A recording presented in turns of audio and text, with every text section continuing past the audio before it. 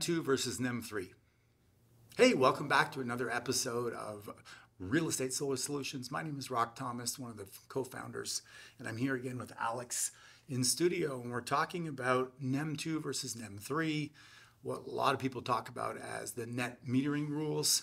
And a lot of homeowners don't even know how this work. I know that we were talking offset, mm-hmm. and Alex was talking about some of the systems he sold in California, and that a lot of homeowners still have trouble wrapping their head around how does that work.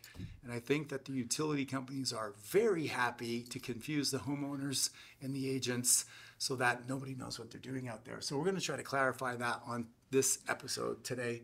So you've been out there talking to homeowners prior to April 14th, 2023 Yes. And there's something called NEM2 mm-hmm. and NEM3. Mm-hmm. Why don't you give us a little bit of a conversation? I know there was a bit of a gold rush that happened. Oh, yeah. Because a lot of people were like, when they found out, you know, what the, the advantages were, they were trying to race in to get their systems installed. Mm-hmm. So why don't you talk a little bit about that? Well, the reason why people were racing in so much is simple because a lot, a lot of the benefits with solar uh, were being taken away in California anyway with that new change of rule as of April. And what net metering is essentially is the relationship between the homeowner that has that, pays the electricity and has, let's say, the solar system and the electric company. And so when someone has a solar system on a home, they're producing electricity. And so what they do is they will sell some of that electricity to the grid and then during the night buy some of the electricity back so that they can power home power the house, right? So that kind of transaction happened before where was it one to one. And so I sell one credit of electricity to the grid to one dollar, they sell me back to one dollar. Okay. Now, after NEM, NEM 2.3, as you know, things change and that ratio was just not the same anymore. So NEM 2.0 was a relationship where it was one for one. Yes. Then April 14th, somehow the utility companies lobby. I don't know who they're paying off or whatever the case is, but they lobby and they convinced um, the government to allow them to change that. And instead of giving back one for one, they actually are giving back. And I think the numbers go like this the average is about 36 cents per kilowatt hour in California. And now, instead of giving you back 36 cents, they give you back 8 cents. Imagine 8 cents, 75% tax. Yeah, yeah. You produce an hour's worth of kilowatt from your solar panels, they give you back 15 minutes. What? You kidding me? Can you imagine the difference it makes in the marketplace? Yeah. Crazy. No, and what's interesting is that California has such a high cost for utility costs. Just to give you a comparison, 36 cents per kilowatt. Imagine that it's, say, $3.60 for a gallon of gas in California. Well, where I have a home in Arizona, it's about 12 cents for a gallon of gas. You're not that or a far. dollar twenty, which is one third, right? Costs less. And if you go to Texas or to Tennessee or some of the other states, it's even less than 10 cents.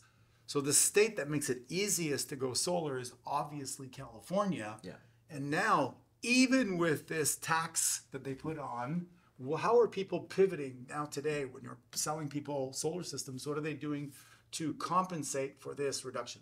They almost have to buy batteries. Batteries. It's kind of the only way to make up from for that gap. But obviously, they have to invest more money to be able to purchase those batteries, right? So, what's the difference in buying a battery and, and just using the utility company as a battery? Yeah, well, that's the thing. Usually, the relationship you have with the grid, it's because you're using them as virtual battery. When you have batteries with your system, your energy gets stored within those batteries, so you don't have to have the transaction with it with the, the grid anymore. So, you store the energy during the day in your batteries, Yeah. and then you pull it out of your own batteries at night Yes. with zero tax on Yes, yes, your ah. batteries are not overcharging you. Okay. that credit. Yes. And so, the person who is going to sell a property Yes. that is NEM 2, mm-hmm. they're grandfathered in for 20 years Correct. with the utility company to have the use to use them as a battery for that period of time. And when you go to sell that house versus somebody that doesn't have solar Mm-hmm. or somebody that has solar that has batteries, that person that purchased the batteries had to pay more for their solar system, Yes. right? Yes. Yes. So let's take an example. Let's say, you know, you sold a system to somebody for forty thousand dollars, and they got, say, I don't know, forty panels. Yeah. Then after April fourteenth, you sold to a similar their neighbor 40 panels, but you also sold them three batteries. Mm-hmm. That's possible, right? Yes, The batteries would cost about how much? Close to thirty grand for three of them, Okay. depending on the batteries you take. It's at least six grand a battery. Can go up to twelve. Okay. Perfect. So twenty to thirty thousand dollars extra for batteries. Yeah. These two people go to sell their property. Mm-hmm. Does it make sense that you need to look at their history of their utility usage to verify what's happening? Yes. You also need to look at the contract to see if there's any guarantees. If you mentioned on another video, there is some fine print to make sure the guarantee gets transferred over in a timely fashion. Absolutely. Yeah. And to make To respect the delay as well for that tr- transfer to happen. Properly, Okay. Right. And so you check that contract. Yeah. And then the homeowner now is going to try to get as much as they can for the solar system because Mm-hmm. in California, when you're paying 36 or 40 cents for utility, your average bill isn't 150 like it is in some parts of the country. It's more like four, five, six, seven, eight hundred dollars. So you're talking about a substantial savings Yeah. over the course of 20 years, right? Mm-hmm. So you might have, let's say you're saving $600 a month, that's $7,000 a year. Yep. Over 20 years, you're talking about $140,000. The compounded effect on this is crazy. Yeah. And you're not even uh, accounting inflation here, right? Right. In the number you've made. Now, is it true that part of the package that you provide for the prospective purchaser is to show them Yeah. through a graph exactly how much they'll save over that period of time? Exactly. Yeah. And then that helps to convince the purchaser to feel positive Mm-hmm. about purchasing this system. And it helps to justify to the appraiser also The value. the value. Yes. Right. So if you're thinking of selling your home and you have NEM2 or NEM3, would it make sense to have a conversation with somebody like Alex to make sure that you're lining up all your ducks and you have a way to present that to the prospective purchaser? Mm-hmm. What did I miss? Huh? I mean, nothing. Okay. Now, what I know is is that you know you create a marketing package Yeah. That includes all of these elements so that the agent has the easy button Yes. when they're going to market the property. And from what we've discussed, it really comes down to three phases. The agent in the listing presentation competing against another agent that has no solar literacy is going to be in a position with the marketing package to win the listing over easier. Win the listing, but I'll also be able to guide the client properly, right? That's our job as, as realtors. Our number one job is make sure that we do a service and a favor to, to, to the homeowner. Now, is the homeowner really well serviced by someone that doesn't understand the language of a solar system when there is solar on the home? That's something that, you know, needs to be discussed as well. You know, it makes me think of back in 2008, 2009, for those of you that remember, something happened in the economy back then. And there was this thing called foreclosures and short sales.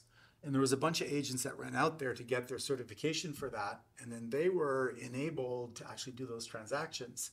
And there was a lot of agents that sat on the sidelines thinking this is going to blow over and it's not going to be such a big deal. And they missed out on all this business. Yeah, yeah. Would you say that um, agents that are going to get solar certified are going to be in a similar position? Hundred percent, hundred percent. There are some agents who are going to be proactive in taking the edge, and other agents, unfortunately, are going to be left behind.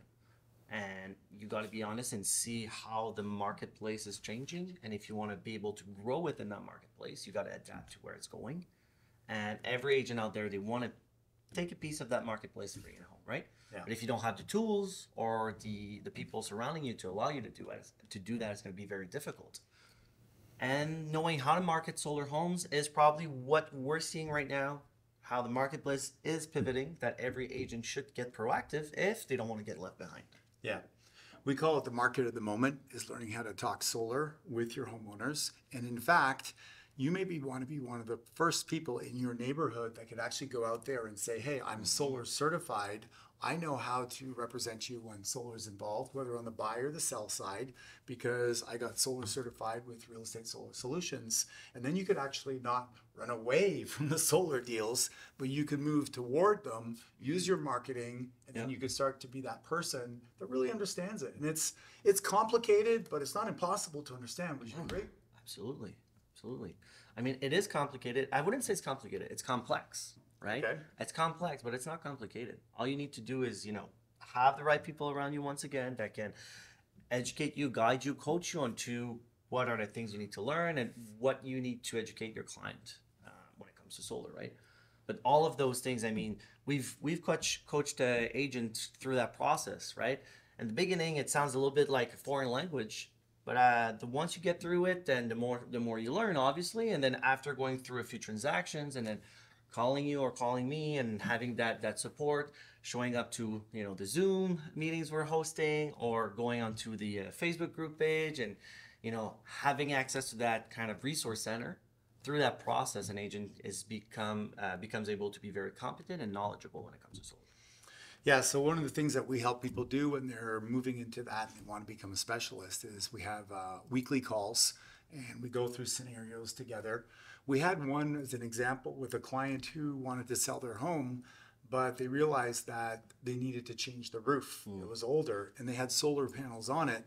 And it was, I think, 90, nine years since the solar panels had been installed. And so they couldn't get hold of the company that had installed them. And so they didn't know what to do.